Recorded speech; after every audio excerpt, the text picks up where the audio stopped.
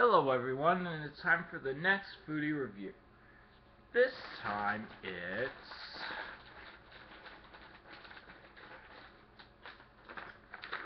P Nutties plus coconut.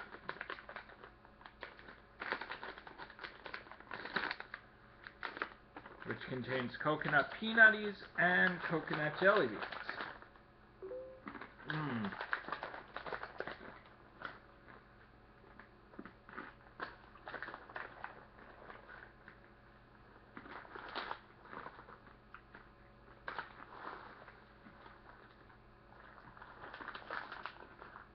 Give this a 6 out of 10.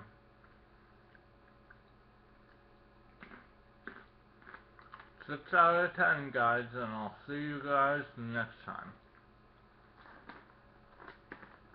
Just like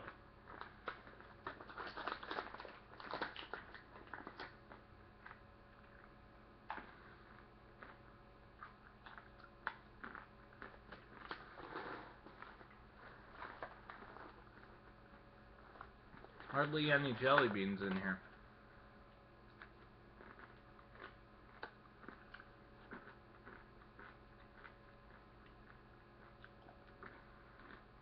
Bye-bye.